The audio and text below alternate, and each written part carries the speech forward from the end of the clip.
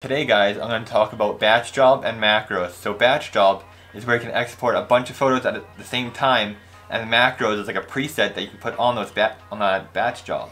So the first thing you want to do is go to file, open, find your photos, open one of the photos. So here's my photo here. And then I want to go to view, go to studio, macro, and it opens this little panel here which is macro and what you want to do is hit you want to record what you want to put on this photo and then you save it and then you uh, put the uh, like preset onto your all those photos that you want exported.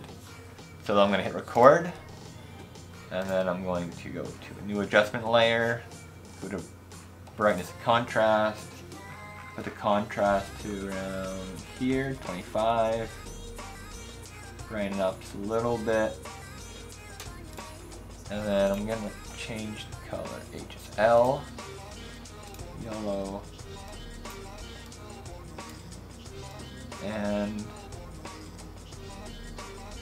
just darken these greens a little bit.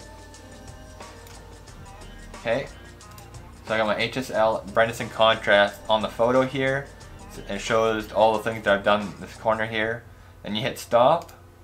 You go to add to library and you call it whatever you want to call it. I'm going to call it LUT1. So here are a couple of the macros that are already on it and a couple that I made. So here's LUT1 that I made. Next thing you want to do is go to File, go to New Batch Job, go to Add, find the photos that you want. So these are the photos that I want to get done. Okay, here they are right here. I'm going to put it into this photo, this folder to get exported to change it so it's just JPEGing done. And then right here says available macros. You scroll down until you find the macro that you want that you made. Hit it, hit apply, and then hit OK. And then right now it's saving all the photos. And that they're done.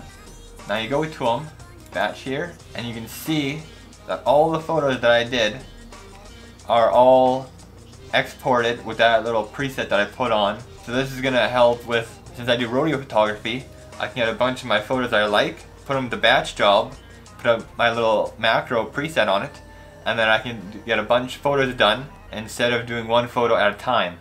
Hopefully this helps you guys, and we'll catch you on the next video.